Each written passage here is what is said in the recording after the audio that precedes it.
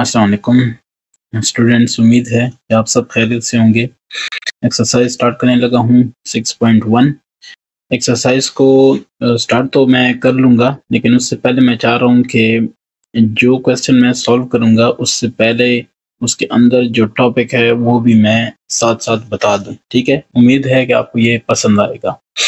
तो इस एक्सरसाइज में जो मेन बातें हमने पढ़नी है, वो है डिस्क्रिप्टिव फॉर्म ऑफ़ सेट क्या होता है, ठीक है?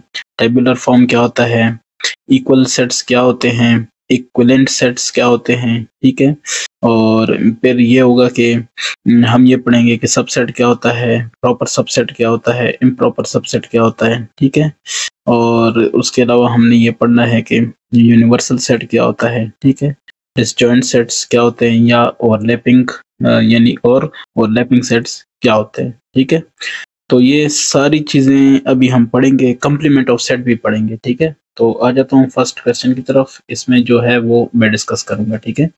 क्वेश्चन नंबर फ़र्स्ट इसमें है कि write the following sets in descriptive form ठीक है? तो इन सेट्स का आपने डिस्क्रिप्टिव फॉर्म लिखना है। मैं सिर्फ़ जवाब लिखता हूँ। क्वेश्चन आपके पास बुक में मौजूद हैं, ठीक है? तो ए ए की जगह मैं क्या लिखूँगा?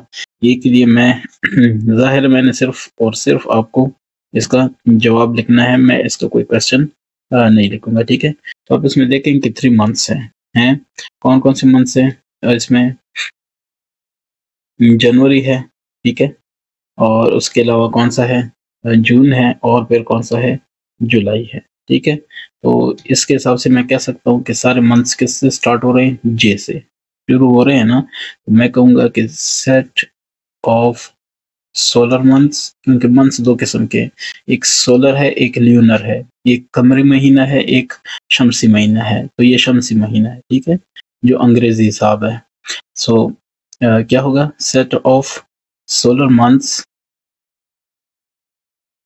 ठीक है? Set of solar months starting starting with J ठीक है? या whose name starting with J बस ठीक है, ऐसे भी ठीक है, कोई मसला नहीं है। आपने जस्ट एक मैसेज देना है कि ये इस तरह है। बी को देख लें। हमारे पास जो बी है, उसमें क्या बात है? ए बी सी डी ई ठीक है ना? तो आपका क्या ख्याल है? पहले फाइव है कि नहीं है? मैं लिखूँगा कि सेट ऑफ़ फ़र्स्ट फाइव ठीक है? इंग्लिश इंग्लिश ज़रूर लिखना है, ठीक है ना? अल्फ़ा बैट्स क्योंकि हमारे पास सिर्फ़ इंग्लिश नहीं है बहुत सारी लैंग्वेजेस हैं, ठीक है? अगर आप अल्फ़ाबेट्स लिखेंगे तो आप गलत लिखेंगे। C L is equal to minus one minus two minus three and minus four ये जो माइनस वाले होते हैं, ये है तो इंटीजर्स लेकिन हम इसको लिखेंगे क्या? लिखेंगे सेट ऑफ़ इंटीजर्स ठीक है? इंटीजर्स कितने इंटीजर्स सेट ऑफ़ इंटीजर्स आप ये कह सकते हैं कि less than zero less than चलें इस तरह लिखें इंटीजर्स बिटवीन लिख लेते हैं। बिटवीन uh, ठीक है बिटवीन क्या? ज़ीरो एंड माइनस फाइव तो उसके दरमियान में आ रहे हैं कि नहीं आ रहे हैं? ठीक है? Uh, उसके अलावा सी के बाद क्या है हमारे पास? डी है ठीक है? डी थर्सडे एंड सैटरडे ठीक है ना? सो so, uh, मैं क्या कहूँगा? इसका क्या है? डी ठीक है? सेट ऑफ़ सेट तो है, ज़ाहिर है, ठीक है ना? तो कौन से होंगे? वीक डेज़ ठीक है ना? थर्सडे क्या होता है? बिफोर बिफोर फ्राइडे है एंड सैटरडे क्या है? आफ्टर ठीक है? Week days before and after Friday ठीक है? क्लियर हो गया ना? एक आफ्टर फ्राइडे है और एक क्या है? बिफोर फ्राइडे तो इसके बाद क्या है? ई ई क्या कह रहा है? टी दो, चार छ आठ, ठीक है? इसमें एक चीज़ मुश्तरक देखें, वो सारे क्या हैं? जुफ्त हैं, है ना? जुफ्त हैं। तो सेट ऑफ़ इवन नंबर्स हो गया।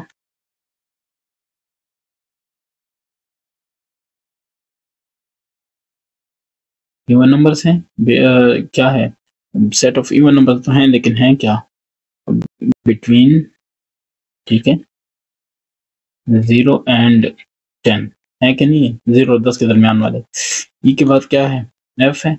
तो एफ़ कह रहा है कि चौदह, सोलह, अठारह, उसके बाद। ठीक है? तो एक तो ये है कि ये इवन नंबर्स हैं। ठीक है ना? सेट ऑफ़ इवन नंबर्स अब आगे बात हम करेंगे। ठीक है? ग्रेटर देन बारह है कि नहीं? है ग्रेटर देन ट्वेल्व। और आगे इसकी कोई लिमिट नहीं है अनलिमिटेड है, ठीक है ना? तो इसलिए हम कुछ नहीं कहेंगे। एफ़ एफ़ के बाद क्या है? जी जी क्या कहता है? जी कहता है कि one three five seven nine तो आपके ख्याल से ऑड नहीं है है ना? और इसकी लिमिट भी कोई नहीं है तो सेट ऑफ़ ऑड नंबर्स ठीक है? तो ये ऑड नंबर्स का सारा सेट आ गया, ठीक है ना? तो एक नेक्स्ट है जी के बाद क्या है? एच है। एच क्या कहता है? दस, बारह, चौदह, सोलह, बीस, ठीक है? तो ये एक्चुअली दस, बारह, चौदह, सोलह, ठीक है? अब अठारह नहीं है अगर आप गौर करें। तो मैं कहूँगा कि set of even numbers between ठीक है? बिटवीन क्या चीज़? Eight and twenty two twenty two without eighteen ठीक है ना? तो यहाँ तक आ गया लेकिन विदाउट क्या चीज़ है? एटीन एटीन क्योंकि इसमें नहीं शामिल, ठीक है? एच एच के बाद क्या होगा? आई तो आई में आप देख लें ई है, ठीक है ना? और सिर्फ़ प्लस लिखा है, यानी पॉजिटिव ये यू पर इसका प्लस है, ठीक है? तो पॉजिटिव वाले। दो, चार छ आठ। इसी तरह लिखा है ना? तो क्या नाम उसका? क्या लिखेंगे? आई है। आई आई का सेट है ई ठीक है? क्वेश्चन आई है। ठीक है? तो द सेट ऑफ़ ठीक है? The set of positive even numbers ठीक है ना? तो ये कौन सा सेट है? Set of positive even numbers आप लिख सकते हैं बिटवीन ज़ीरो एंड टेन ठीक है ना? Uh,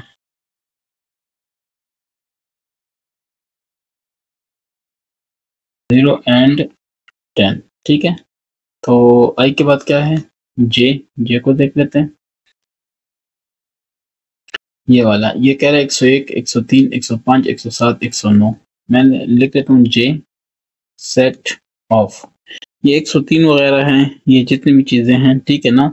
तो अब अगर आप गौर करें, ये ऑड हैं, ठीक है ना? तो मैं पहले तो लिख लेता हूँ कि odd set of odd numbers अब क्वेश्चन है कि कौन कौन से? तो बिटवीन ठीक है? निन्यानवे, ठीक है? एंड एक एक एक एक सौ ग्यारह. एक सौ नौ के बाद एक सौ ग्यारह आता है ना ऑड नंबर इसलिए जे के बाद क्या है?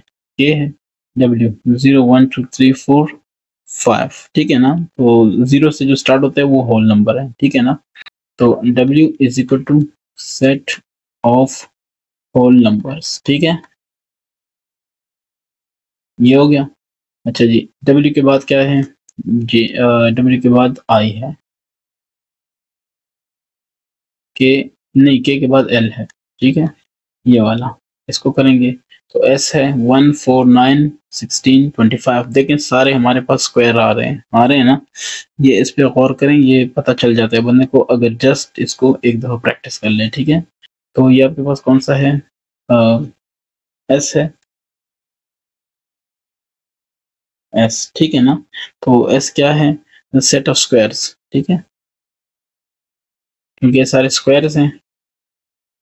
Set of squares of first five natural numbers, ठीक है? हैं कि नहीं? ठीक है ना? फ़र्स्ट फाइव नेचुरल नंबर्स हैं, ठीक है? अच्छा इसके बाद एम है तो एम क्या कहता है? एम हमारे पास है, अगर आप गौर करें, एक तीन पाँच सात नौ तो ये यू है, ठीक है? सेट ऑफ़ ठीक है ना? तो पहले पाँच हैं कि नहीं है? फ़र्स्ट फाइव ऑड नंबर्स ठीक है?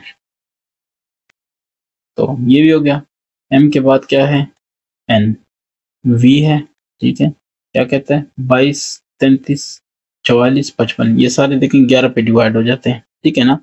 तो हम ये कहेंगे कि सेट ऑफ़ फ़र्स्ट तो खैर नहीं कहूँगा ठीक है?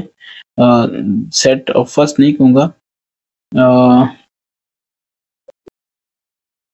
सेट हाँ फ़र्स्ट कह सकता हूँ ऐसी है सेट ऑफ़ फ़र्स्ट फोर है ना? Four uh,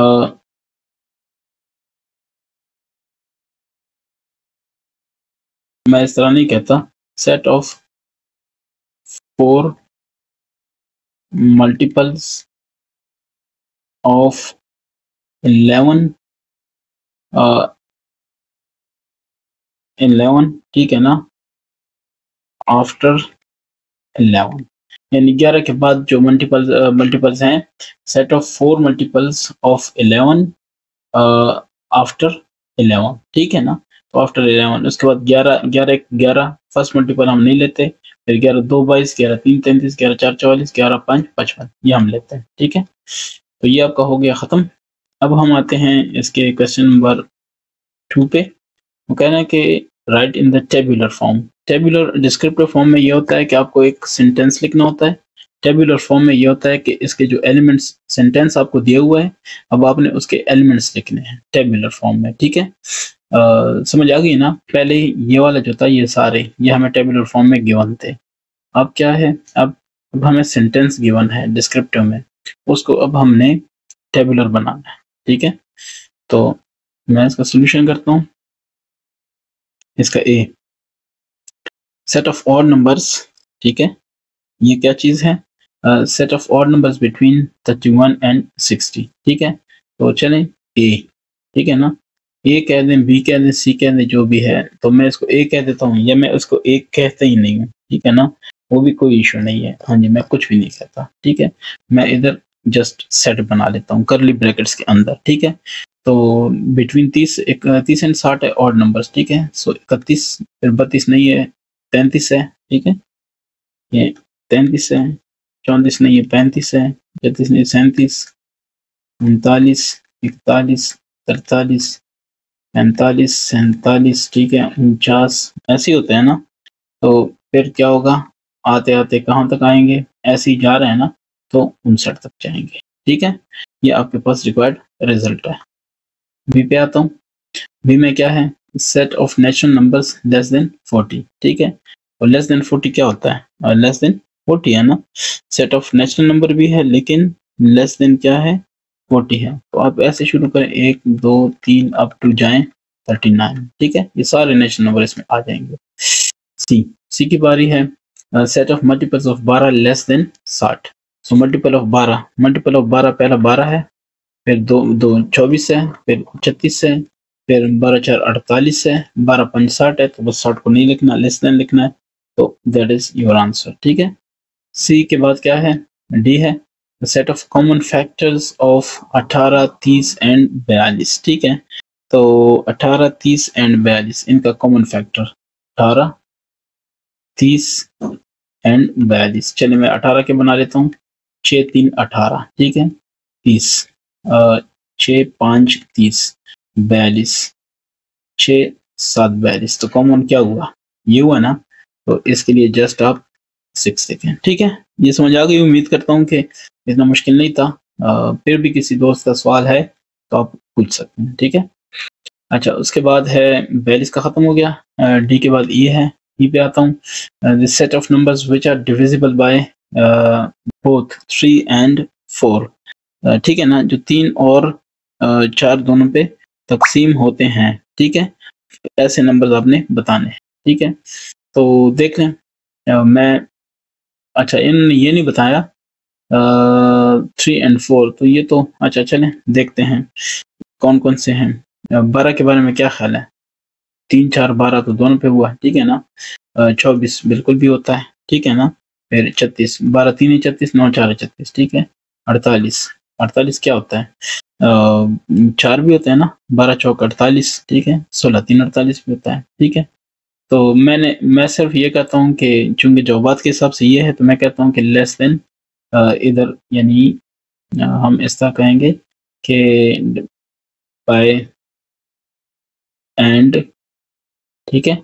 Set of numbers and less than 50 ठीक है? तो ये सारा उसमें आ गया। क्योंकि जो बात के हिसाब से मैं लिख रहा हूँ नहीं तो आगे इसको दरियाफ्त करना पड़ेगा वो एक अनलिमिटेड प्रोसेस शुरू हो जाएगा क्योंकि सिर्फ़ यही तो नहीं है ना? आ, देखें अगर पचास के बाद की बात करें सही है ना? तो चेक करें फिर सत्तावन अट्ठावन उनसठ साठ ठीक है? फिर तिरसठ खैर, यहाँ तक जो आ रहा है बस ठीक है लेस देन ये है, ठीक है? या जो बात में इधर तक है तो मैं इधर तक कर रहा हूँ, आगे जाए, जाते ही नहीं, ठीक है? अच्छा इसके बाद वाला कौन सा है? इसके बाद वाला है कि the set of factors of 81 between 5 and 30 ठीक है? तो एफ़ एफ़ क्या कहता है? Set of factors of 81 between 5 and 30 तो अब आप उसके अगर इसके फैक्टर्स निकाल लेते हैं आ, क्या नाम है इसके एटी वन के फाइव और थर्टी ठीक है ना? फैक्टर्स तो इक्यासी का फैक्टर क्या हो सकता है? फाइव और बिटवीन फाइव एंड थर्टी इक्यासी के फैक्टर्स कौन हो सकते हैं आपके ख्याल से? फैक्टर्स होते क्या हैं? जो इसको पूरा पूरा तकसीम करें ठीक है? नौ हो सकता है नौ नौ इक्यासी हो सकता है ना? अच्छा फाइव एंड थर्टी फिर है इक्यासी अगर मैं नौ की जगह कहूँ कि नौ, इक्यासी इक्यासी को जस्ट तकसीम करें ना? तो नौ नौ नहीं है नौ के बाद, ठीक है? नौ के बाद दस नहीं है, क्योंकि दस अठासी आता है, ठीक है ना? ग्यारह ग्यारह अठासी आता है, ग्यारह, सात सतर आता है, बारह बारह भी नहीं आता, तेरह तेरह नहीं आता, ठीक है ना? इक्यासी तकसीम तेरह करने, अब पता चल जाएगा, नहीं आता, ठीक है? और फिर क्या है? चौदह भी नहीं आता पंद्रह भी नहीं आता सोलह भी नहीं आता सत्रह को ट्राई करते हैं तकसीम सत्रह ठीक है वो भी नहीं आता अठारह उन्नीस भी नहीं आता ठीक है बीस इक्कीस भी नहीं आता बाईस भी नहीं आता तेईस भी नहीं आता और आप ट्राई करें आपको पता चल जाएगा चौबीस भी नहीं आता पच्चीस भी नहीं आता छब्बीस सताईस अट्ठाईस उनतीस उनतीस नौ तीन सत्ताईस उनतीस को इक्यासी पे इक्यासी को उनतीस पे तकसीम करके देख करते हैं इक्यासी तकसीम उनतीस तो जनाब ये भी नहीं आता ठीक है तो इसको मैं जस्ट एक चीज़ लिख लेता हूँ एंड दैट इज़ नाइन ठीक है? मेरी नज़र में तो ये नाइन आ रहा है बिटवीन फाइव एंड थर्टी इक्यासी नौ नौ इक्यासी बिल्कुल ठीक है? अच्छा जी uh, अब उसके बाद है question number three which of the following pair of sets are equal ठीक है ना? तो इनमें कौन कौन से ऐसे हैं कि जो इक्वल हैं जैसे ए बी है ठीक है और ये वगैरह। तो इक्वल सेट्स क्या होते हैं? इक्वल सेट्स वो होते हैं कि एक के जो अरकान हैं, वो दूसरे के अंदर सेम मौजूद हो। जैसे ये देखें, अगर हमारे पास ए एक सेट है, एक, दो, तीन, ठीक है? तो बी सेट में क्या होना चाहिए? तीन, दो, एक, ये फ़र्क नहीं पड़ता, तरतीब फ़र्क नहीं पड़ता, लेकिन एक भी होना चाहिए, दो भी मौजूद होना चाहिए, तीन भी मौजूद होना चाहिए। तो फिर ये क्या है? ये इक्वल सेट्स ठीक हो गया? इसकी समझ आ गई है? अगर इसकी समझ आपको आ गई है तो इसमें हम बात कर सकते हैं फिर ए ए क्या है? ठीक है ना? ये मेरे ख्याल से तो इतना इशू नहीं है। ठीक है ना? क्वेश्चन नंबर थ्री है। तो इसमें ए एंड बी आर या इतना लंबा चौड़ा करने की ज़रूरत नहीं है। A is equal to B ठीक है? बस बी की बात करें तो बी यू हमारे पास है बाईस, चौबीस बाईस ये लेकिन बाईस इसमें भी इसमें भी है चौबीस इसमें भी है इसमें भी है छब्बीस इसमें भी है और इसमें भी है। तो मैं ये कहूँगा कि जो बी है और ये भी ठीक है। तो क्या है? U is equal to D ठीक है? अच्छा बी के बाद सी देखते हैं। बी एक तीन पाँच सात ये दो आपस में बराबर नहीं है क्योंकि इसमें ज़्यादा है ठीक है? अच्छा डी की बात करें ये खाली सेट है ये भी खाली सेट है। आ, ये दोनों खाली सेट है ना? ये दोनों खाली सेट है ठीक है? तो डी है डी ठीक है? डी में क्या है? I is equal to J because both are empty sets ठीक है? डी के बाद e है के और नई ये दोनों नहीं है खाली सेट क्यों नहीं है? क्योंकि ये देखें, एक इस तरह है, ये इसका मतलब है खाली सेट लेकिन इसके अंदर अगर ये है तो ये खाली तो ना हुआ, इसमें कुछ ना कुछ तो हुआ ना, जो मर्ज़ी हो। इवन कि आप ऐसे करें ना, ऐसे भी लगा लें तो भी ये खाली सेट नहीं है, ठीक है? तो इसलिए ये आपस में बराबर नहीं है। अच्छा जी इरेजर पेन मार्कर इधर है ये चीज़ें तो ये बराबर नहीं है, ठीक है? और ये एफ़ वाला बराबर है। आप भी देख सकते हैं क्यों बराबर है? क्योंकि दोनों में एक एक ट्रायंगल मौजूद है, ठीक है? एफ़ एफ़ के बाद क्या है? जी जी को भी देख लेते हैं। ये है जनाब G set of odd numbers between चार एंड दस। तो चार और दस के दरमियान कौन कौन से ऑड नंबर्स हैं? पाँच, सात, नौ। तो मेरे ख्याल से तो जी भी है, ठीक है? जी देखें ना, चार चार और दस के दरमियान पाँच है ऑड सात ऑड है, नौ ऑड है, ठीक है ना, वो इसके दरमियान आता है। तो जी जी का कौन सा है? जी का है T and P T equals to P ठीक है? जी के बाद क्या है? एच है। एच को देख लें तिहत्तर उनासी तिरासी, सतासी set of prime numbers between बहत्तर एंड अच्छा प्राइम नंबर्स ठीक है? ये बहुत इंपॉर्टेंट है कि ये प्राइम नंबर हो प्राइम नंबर में ये आते हैं, ठीक है? एच क्या है? वाई है।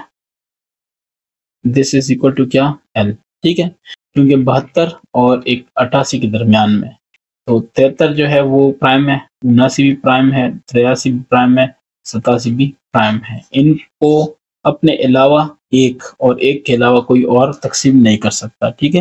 यानी ये किसी भी दूसरे नंबर पे, या तो ये खुद पे, ये सतासी है तो या तो सतासी पे तकसीम होगा, या एक पे तकसीम होगा। इसके अलावा किसी पे तकसीम नहीं होगा, ठीक है? प्राइम का मतलब ये है। तो शुक्र है, ये भी कंप्लीट हो गया हमारा, ठीक है? अब क्वेश्चन नंबर फोर की तरफ़ आता हूँ। ठीक है? तो क्वेश्चन नंबर फोर है which of these pairs of sets are equivalent and which are not equivalent की बात करते हैं, ठीक है? इक्वे इक्विवेलेंट ठीक है? तो इक्विवेलेंट क्या होता है? ये होता है जैसे ए आपके पास है ना, एक, दो, तीन, ठीक है? बी आपके पास सेट है ए बी सी ये इक्वेलेंट है। क्यों है? क्योंकि जितनी तादाद इसमें है, इसमें दोनों बराबर है। इसमें भी तीन है और इसमें भी कितने हैं? तीन है। इक्वल और इक्वलेंट का फ़र्क आपको समझ आ गया होगा। इक्वल में ये देखते हैं कि सेम टू सेम होनी चाहिए। अगर ऊपर तीन मौजूद है तो इधर कहीं ना कहीं तीन मौजूद होना चाहिए। लेकिन इक्वलेंट में ये नहीं देखते। इक्वलेंट में तादाद गिनते हैं। ए के पास तीन एलिमेंट्स हैं तो बी के पास भी तीन होने चाहिए। जो मर्ज़ी हो, लेकिन होने तीन चाहिए। ठीक है? उम्मीद करता हूँ अगर इसकी समझ आ रही है तो ये जवाब भी आप दे सकते हैं। फ़र्स्ट को देख लें which pair of sets are equivalent यही है ना? तो ए को देख लें ए वाला। वो है ए और बी एक, दो, तीन, चार। इसमें भी एक, दो, तीन, चार। So A is equal to एक ए इक्वल नहीं। इसको इक्वल नहीं कहेंगे, इसको ये कहेंगे। ठीक है ना? इक्वल टू बी ठीक है? ये आप ज़रा, अगर अपनी किताब में जाएँ किताब में आपको ये इक्वलेंट का जो है ना एग्ज़ाम्पल वहाँ पे पढ़ लें। एग्ज़ाम्पल नहीं बल्कि मैं कहूँगा कि इसका एक टॉपिक है इक्वलेंट सेट्स पेज नंबर तिरानवे पे ठीक है नाइन्टी थ्री पे इक्वलेंट सेट्स है। उसमें जाके आप देख लें आपको पता चल जाएगा कि ये सिंबल है वो इक्वलेंट सेट्स के लिए है ठीक है? सो so, इसको पढ़ेंगे A is equivalent to B या A and B are equivalent sets ठीक है ना?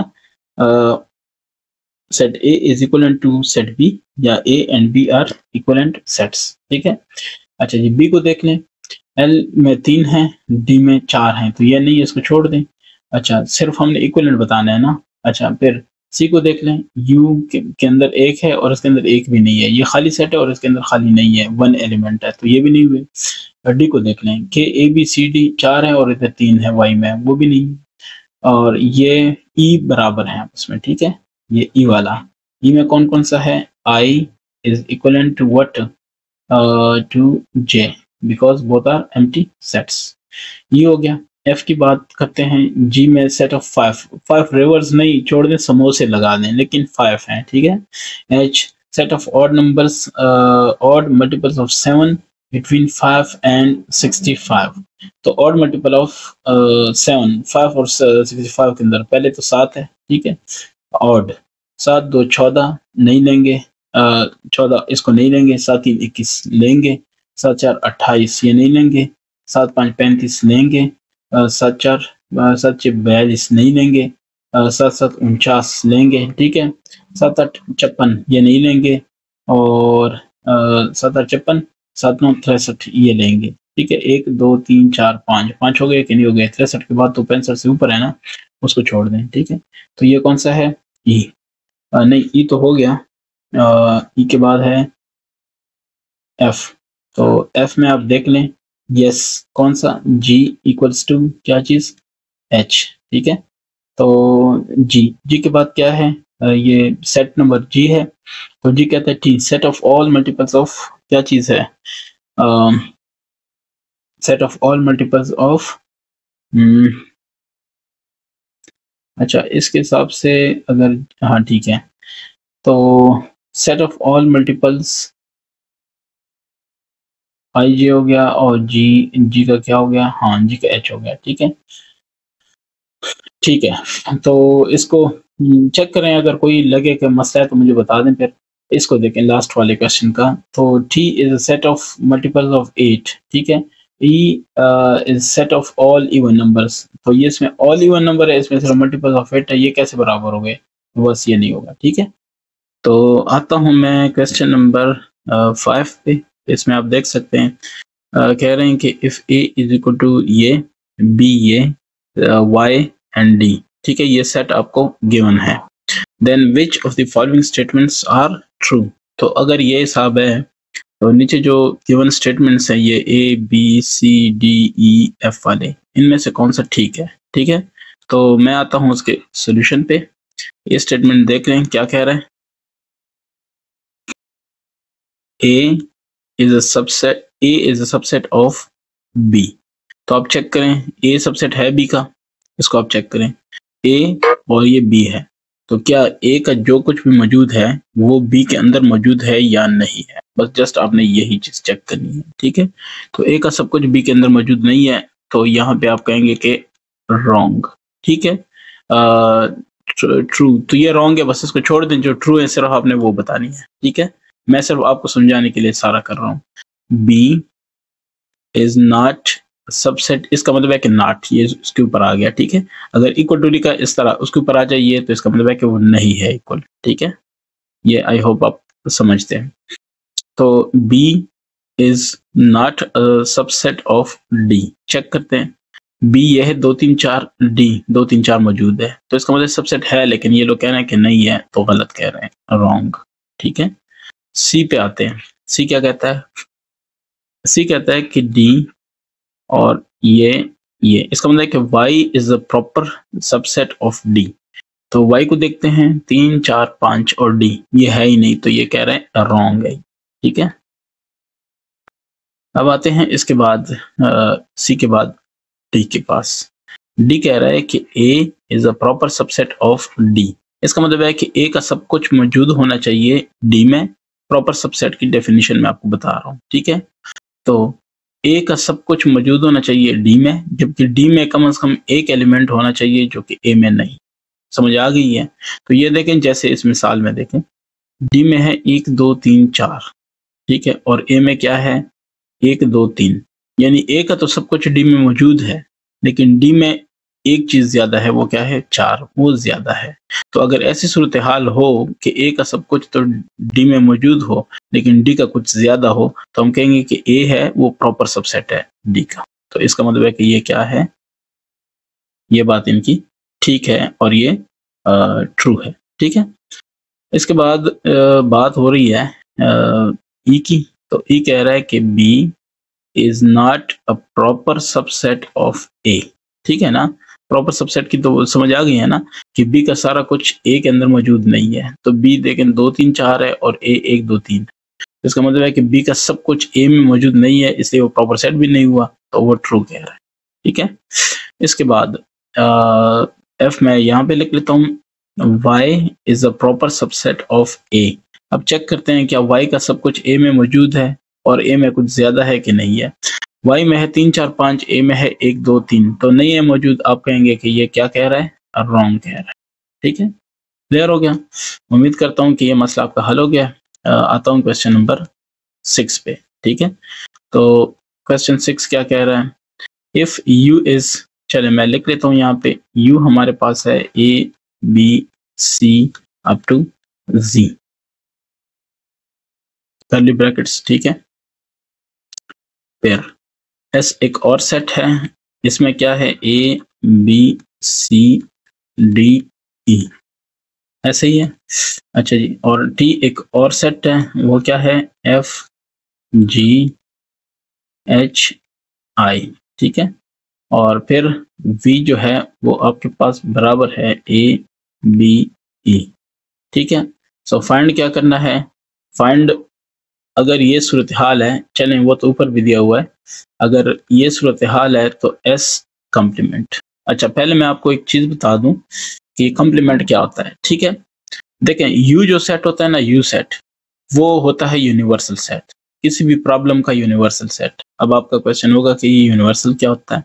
यूनिवर्सल एक ऐसा सेट होता है, जिसमें उस प्रॉब्लम के अंदर जितने भी बाकी सेट्स हैं, उन सब, वो सारे इसके अंदर मौजूद होते जैसे ये देखें ए से लेके जेड तक है यू और इसको यूनिवर्सल कहते हैं। यू से ज़ाहिर किया जाता है, ठीक है? एस में देखें, जो है ए बी सी डी ई क्या ये सारा कुछ इस यू में मौजूद है कि नहीं? मौजूद है ना? ये डन हो गया।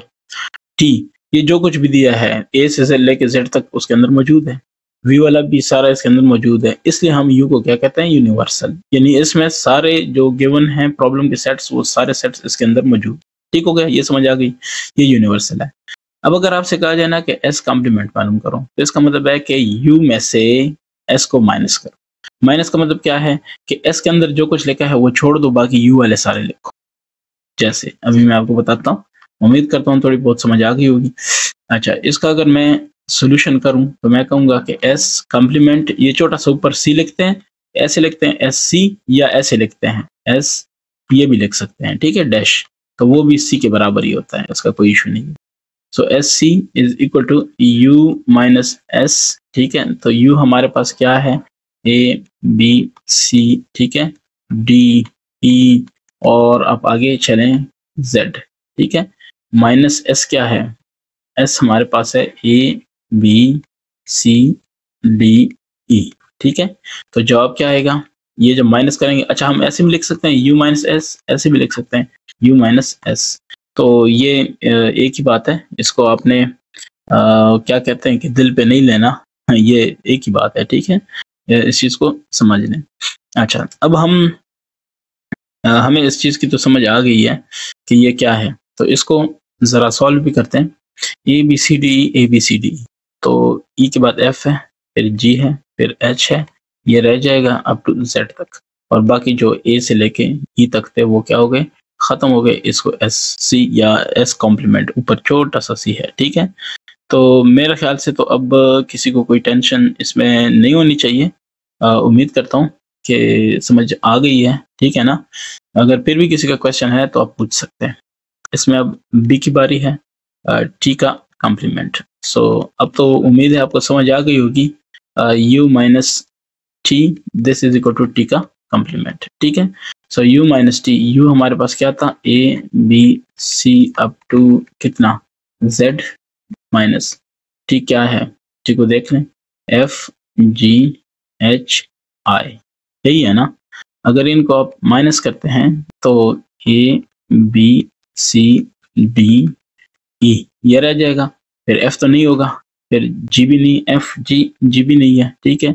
एच आई फिर क्या होगा? जे के एल और जेड ठीक हो गया ना? तो मतलब वो वाले निकल गए दरम्यान से। अब है इसका सी तो सी को भी देख लेते हैं। वी कॉम्प्लीमेंट ठीक है? तो वी कॉम्प्लीमेंट क्या कहता है?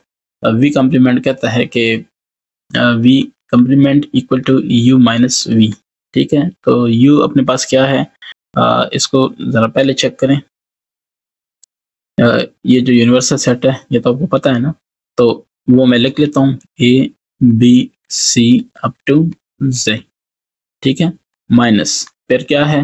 वी है तो वी आप इससे मालूम करें ए बी ई ये जनाब, ये वाला, ठीक है? ये मैं आपको चले एक लाइन बना के देता हूँ, ये वाला, ठीक है? तो इसका फिर जवाब हमारे पास क्या होना है? ए बी ई को ख़त्म किया तो ए बी ई को ख़त्म किया तो बी सी डी ये ख़त्म है तो छोड़ दो F G H up to Z उसके बाद तो मसला नहीं है ना? जैसे मैंने ये सारा लिखा और ये क्या होगा वी कम्प्लीमेंट उम्मीद करता हूँ कि ये दोस्तों को समझ आ गया होगा। फिर भी जिसको समझ नहीं आता, वो काइंडली कमेंट करे, पूछ ले, ठीक है? सी के बाद क्या होगा? डी तो डी कह रहा है कि यू का कॉम्प्लीमेंट ठीक है? यू का कॉम्प्लीमेंट तो आपका क्या ख्याल है? यू का कॉम्प्लीमेंट क्या होना चाहिए? मैं तो कहता हूँ खाली सेट होनी चाहिए। आप क्या कहते हैं? अब आपने अपने दिल में जवाब दे दिया है तो अब देख लें क्या होता है। U minus U is equal to U complement अब बताएँ दो में से दो निकालते हैं तो जॉब ज़ीरो होगा ना? तो u में से u निकाल दें जॉब ज़ीरो होगा। अच्छा A B C up to G ठीक है? माइनस uh, फिर A B C up to G या जेड तो जॉब क्या होगा? खाली सेट ठीक है? या ऐसे भी लिख सकते हैं, आपकी मर्ज़ी। ठीक है? इधर मैं लिखता हूँ, और ये, या, ये, आपकी मर्ज़ी है। ये लेकिन ज़्यादा बेहतर इसलिए ये वाला, इसकी वजह यह है कि अगर इसके दरम्यान में किसी ने कुछ भी लिख दिया तो आपका, या आपसे स्याही गिर गई, या आपसे कोई मतलब नुकता शुक्ता लग गया तो आपका मसला होगा। ये वाला ऐसा है कि ये सबको पता है कि इसने खाली सेट आता हूँ क्वेश्चन नंबर सेवन पे आप इसको ज़रा देख लें। यू दिया हुआ है ये ए दिया हुआ है और बी दिया हुआ है। आपसे कहते हैं ये साबित करो ठीक है? तो ए में जस्ट उसका क्वेश्चन मैंने लिखा है ये वाला। ऊपर वाला नहीं लिखा वो इधर गिवन है ए, ये वाला ठीक है? जो भी होगा इधर से देखेंगे। तो ठीक है B complement is equal to A so मैं ये चेक करता हूँ कि ये क्या है या इस तरह चेक करता हूँ। ये भी तरीका ठीक है लेफ़्ट हैंड साइड और राइट हैंड साइड या फिर एक और तरीका करता हूँ। यकीनन मैं उम्मीद करता हूँ आपको इसका पसंद आया आ जाएगा ये तरीका। तो ये तरीका क्या है? अच्छा इधर है बी कम्प्लीमेंट और इधर होगा ए क्लियर है ना? तो बी कम्प्लीमेंट होगा U minus B is equal to B complement या बी सी छोटा सा। ठीक है? अच्छा तो u आपके पास क्या है? Zero one two up to twenty ठीक है? माइनस b आपके पास क्या है? b वो है तीन छ नौ, फिर नौ के बाद बारह होगा, फिर पंद्रह, पूरा मैंने लिख दिया, ठीक है? तो इस तरफ़ ए क्या है आपके पास? ए आपके पास है zero two four six up to अठारह, यानी ये जुफ्त होगा, ठीक है ना? अब चेक करते हैं। ये तो बस ठीक है ए है लेकिन इसको सॉल्व करते हैं अच्छा ये देखें तीन ज़ीरो इसके अंदर नहीं मौजूद वन नहीं मौजूद ठीक है टू नहीं मौजूद थ्री मौजूद है छोड़ दें चार नहीं मौजूद पाँच नहीं मौजूद छः मौजूद है नहीं छोड़ दें सात और आठ नहीं मौजूद नौ मौजूद है फिर दस नहीं मौजूद फिर ग्यारह नहीं मौजूद ठीक है बारह मौजूद है फिर तेरह नहीं मौजूद चौदह नहीं मौजूद पंद्रह मौजूद है फिर सोलह सत्रह अठारह क्लियर हो गया अच्छा अब ज़रा चेक करते हैं इसको भी ज़रा चेक करते हैं, ये क्या, किसके बराबर है? ज़ीरो टू फोर सिक्स ठीक है? और फिर एट फिर टेन फिर ट्वेल्व फिर फोर्टीन फिर सिक्सटीन फिर एटीन ठीक है? तो ये देखें ज़ीरो वन टू इसमें वन नहीं है, इसमें वन भी आता है, ठीक है? तो इसका मतलब है कि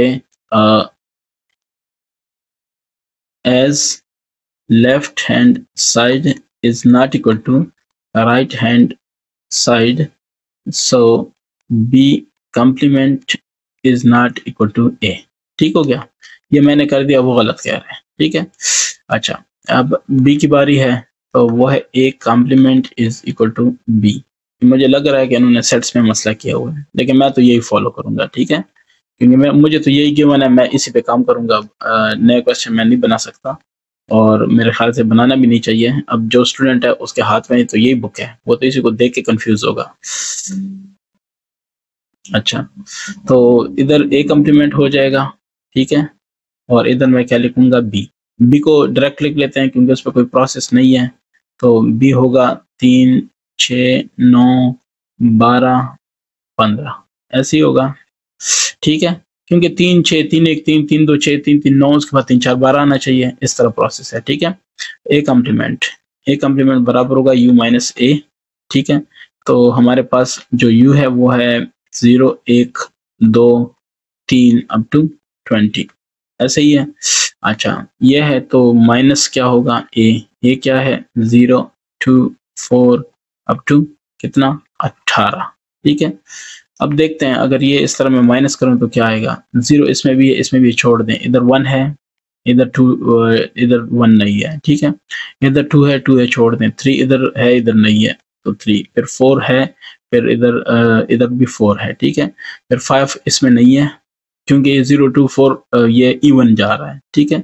फाइव फिर सिक्स इसमें है सेवन नहीं है एट है नाइन नहीं है टेन है एलेवन नहीं है, फिर थर्टीन नहीं है, फिर फिफ्टीन नहीं है, फिर सेवनटीन नहीं है, ठीक है?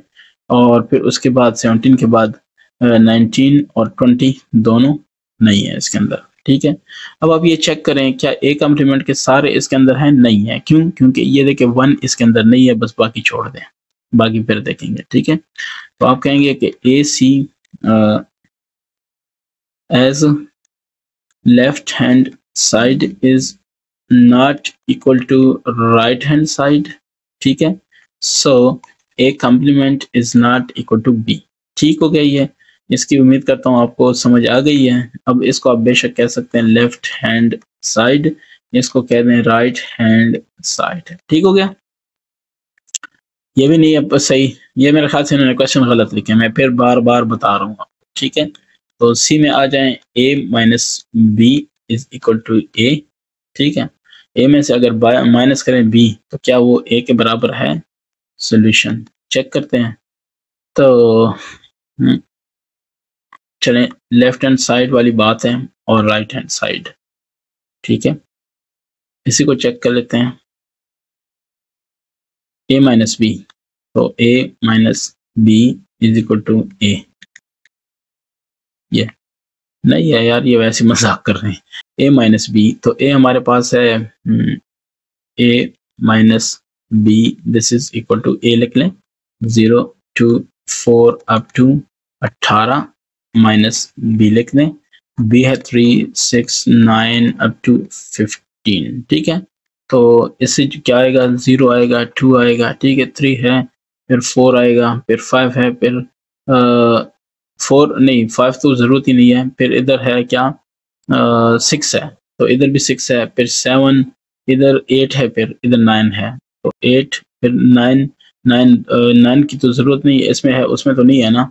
तो ए माइनस बी करना है बी माइनस ए तो नहीं करना है। ठीक हो गया ना?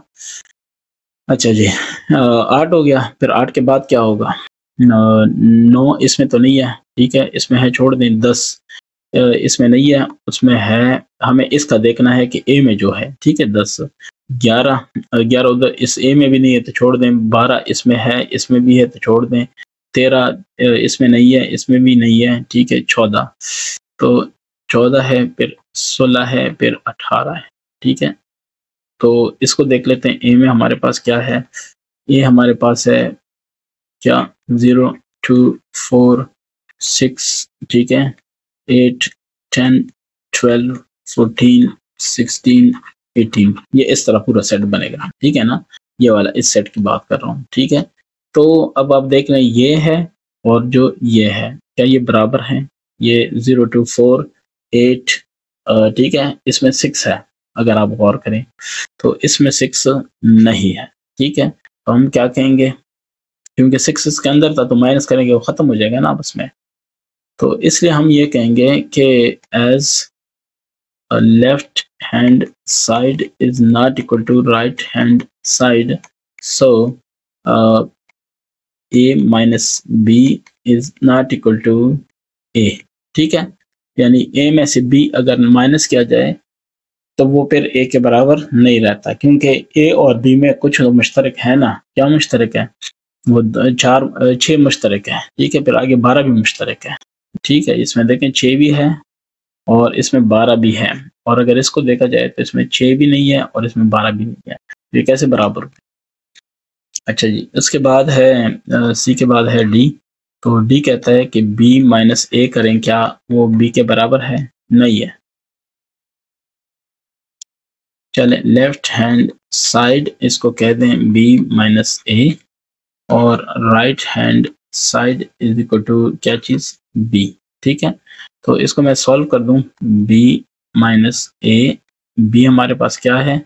आ, तीन छ नौ तीन छ नौ बारह पंद्रह माइनस ए ए क्या है? ज़ीरो टू फोर ठीक है? एटीन तो अगर इन दोनों का आप माइनस कर लेते हैं बी माइनस ए ठीक है? कर लेते हैं तो क्या होगा? इसमें तीन है इसमें नहीं है।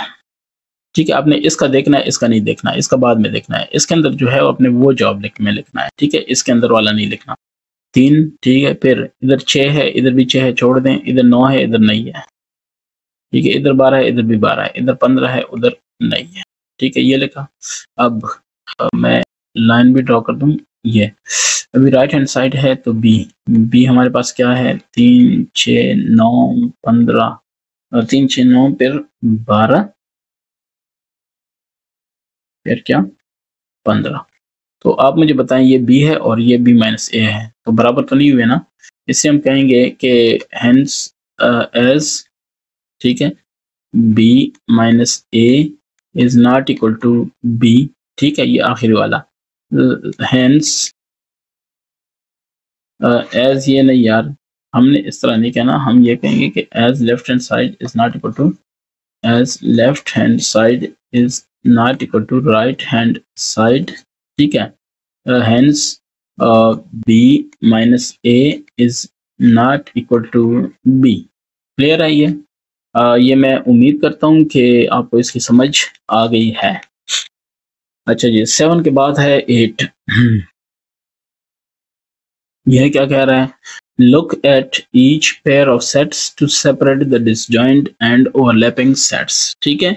आपने इनको देखना है गौर से, और फिर इनमें से जो डिसजॉइंट है और जो ओवरलैपिंग है, वो आपने क्या करने हैं? बताने हैं, ठीक है? तो इसको आप चेक कर लें, आपको आइडिया हो जाएगा कि क्या हो रहा है, ठीक है? और डिसजॉइंट अच्छा यहाँ पे एक दो बातें हैं कि डिसजॉइंट और ओवरलैपिंग क्या होंगे, ठीक है? मैं पहले आपको ये इधर समझा दूँ। डिसजॉइंट में क्या होगा? डिस जॉइंट यानी इसमें कोई जॉइंट इसमें कोई मुश्तरक नहीं होगा। नो कॉमन ठीक है? ये, इसका क्या मतलब है? गौर करें। ए सपोज़ करें आपके पास है एक, दो, तीन, ठीक है? बी आपके पास है चार पाँच। तो अगर ए और बी का हम इंटरसेक्शन ले लें इंटरसेक्शन मतलब मुश्तरक ले लें तो आपका क्या मतलब है? और इसका आपका क्या ख्याल है? जॉब क्या होगा? खाली सेट होगा कि नहीं होगा? क्योंकि इसके अंदर एक दो तीन है और इधर चार पाँच है इनका आपस में कोई जोड़ या जॉइंट नहीं बनता। Disjoint no joint no common ठीक है? ये खत्म हो अब हम बात करते हैं ओवर लैपिंग ठीक है? सो so, एक दूसरे के अंदर घुस जाना और लैप एक दूसरे के ऊपर आ जाना, ठीक है? तो क्या, अब देखें आपके पास इसको मैं सिंपल कह दूँगा कॉमन, ठीक है ना? कॉमन होना चाहिए, यानी ए को देखें, एक, दो, तीन, ठीक है? बी की बात करता हूँ, तीन, चार, पाँच तो ए और बी का अगर आपने इंटरसेक्शन ये वाला लेना है, ठीक है? बी तो इसका जवाब क्या है? तीन है कि नहीं है? सो आप ये कहेंगे कि these are over overlapping A and B is overlapping ये समझ आ गई है? अगर ये समझ आ गई है ना तो ये जो क्वेश्चन है ये फिर बहुत ही इजी है। और अगर नहीं समझ आई है तो ये इंतहाई मुश्किल है ठीक है?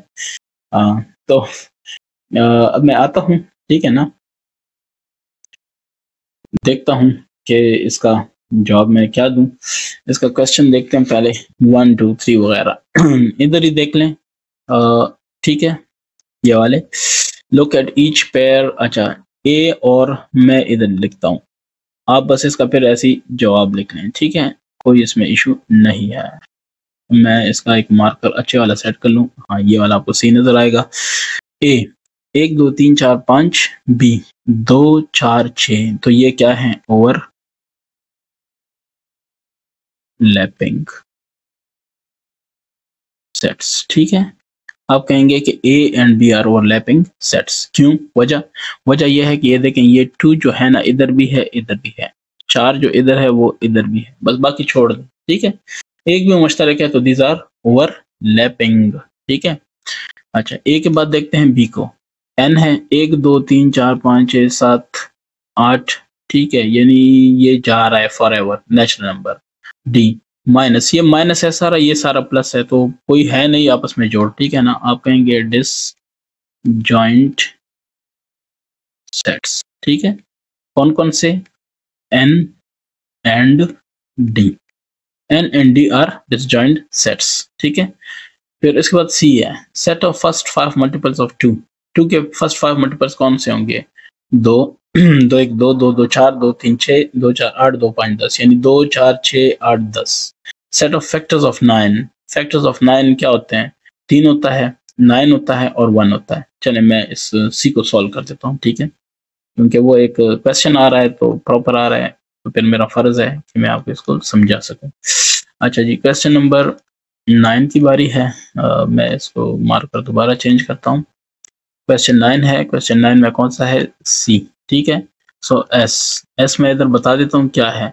Two four six eight ten ठीक है ये हो जाएगा। और एस के बाद क्या है? आ, इसके बाद है D so factors of nine nine का फैक्टर एक भी है नाइन खुद भी है और तीन भी है। ठीक है? तो इनका आपस में कोई कनेक्शन नहीं है। अगर आप इस पर गौर करें तो इनका आपस में कोई कनेक्शन नहीं है। आ, कैसे? आप देखें। एस इंटरसेक्शन डी इज़ खाली सेट ठीक है? So S and D are disjoint sets क्या ख्याल है? सही हो गया? किसी का कोई क्वेश्चन है या मेरे से कोई मिस्टेक हो रही है तो काइंडली मुझे कमेंट्स कर दिया करें, ठीक है? अच्छा सेट ऑफ़ होल नंबर्स है और दूसरी तरफ़ है, चले मैं ये भी कर देता हूँ डब्ल्यू मैं सर्विस का जॉब लिख रहा हूँ। सेट ऑफ़ होल नंबर्स कहाँ से शुरू होता है? Zero one two three up to नमालूम। अच्छा ये याद रखें अगर अभी तक आपको नहीं पता कि होल नंबर का सेट क्या होता है तो याद रखें इसको डब्ल्यू से ज़ाहिर किया जाता है बड़ा डब्ल्यू कैपिटल और ज़ीरो से स्टार्ट होकर फॉर एवर जाता है ठीक है? हाँ, समझ आ गई होगी उम्मीद है। अब के की बारी है। तो के में set of natural numbers which are neither prime और कंपोजिट तो के में आपको मैं ये कह सकता हूँ कि वो कह रहा है कि set of natural numbers which are neither prime और कंपोजिट वो प्राइम भी नहीं है कंपोजिट प्राइम क्या होता? दो. ठीक है? क्यों? क्योंकि ये एक खुद पे तकसीम होता है या एक पे तकसीम होता है. ठीक है? फिर तीन भी प्राइम है, फिर फाइव भी प्राइम है. ठीक है? इस तरह. कॉम्पोजिट कौन सा होगा? दो की जगह फिर चार है तो चार कॉम्पोजिट है, ठीक है? छह कॉम्पोजिट है सात प्राइम है, आठ फिर कॉम्पोजिट है, नौ नौ भी कॉम्पोजिट है, ठीक है? और दस भी कॉम्पोजिट है। कॉम्पोजिट का मतलब है, ये है कि वो अपने अलावा, एक के अलावा किसी और पे भी तकसीम होता है, जैसे आठ है। आठ को देखें, आठ एक पे भी तकसीम होता है, एक आठ आठ खत्म, ठीक है? आठ आठ में भी तकसीम होता है, आठ एक आठ, लेकिन आठ को अगर देखें, दो पे भी तकसीम होता है, दो चार आठ। आठ फिर चार पे भी तकसीम होता है चार दो आठ। इस इट मीन्स कि ये हमारे पास कॉम्पोजिट है। कॉम्पोजिट और उसकी समझ आ गई है। तो आप जिधर मर्ज़ी जाएँ ये सारे का सारा जो भी नंबर आप देख लें आपको या प्राइम नज़र आएगा या कॉम्पोजिट नज़र आएगा। लेकिन एक जो है ना ना ये प्राइम है और ना ही ये क्या है? कॉम्पोजिट है। उसकी वजह उसकी वजह ये है कि ये जो एक है ना एक आ, ये ये प्राइम नहीं है। क्यों नहीं है? कि प्राइम के लिए शर्त है। शर्त क्या है? कि या खुद पे तकसीम होगा या एक पे। ये एक पे तो तकसीम होता है। ठीक है ना? और लेकिन इसका दूसरा फैक्टर मतलब वो खुद पे तकसीम वाला नहीं है। यानी इसके या दूसरे अल्फाज में ये कहूँ कि ये खुद पे भी एक ही है और एक पे भी एक ही है। यानी या खुद पे तकसीम होगा या एक पे तकसीम होगा। इसके दोनों वो पूरे नहीं होते। या सिंपल अल्फाज में जस्ट आप ये समझ लें कि ये जस्ट आ, क्या है आ, ना प्राइम है और ना क्या है कॉम्पोजिट है। ठीक है? अगर आप शॉर्टकट जाना चाहते हैं तो हम कहेंगे प्राइम नंबर्स का जो सेट होता है वो होता है दो तीन ठीक है?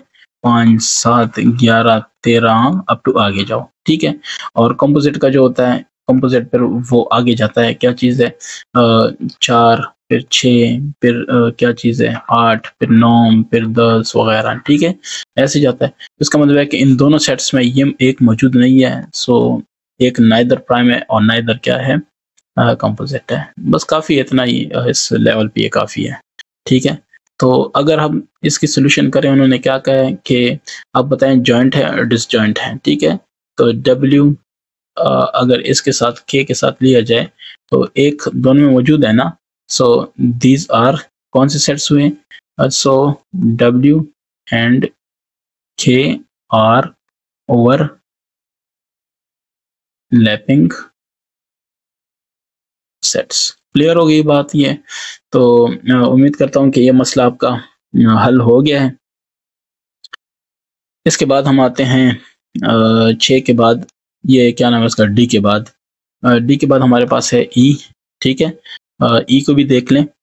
ई क्या कहता है? Set of natural numbers less than five ठीक है? चले मैं लिख देता हूँ। Natural numbers less than five so एक, दो, तीन, चार, यही होंगे ना? अच्छा वाई क्या कहता है? Set of natural natural number याद रखें, ठीक है?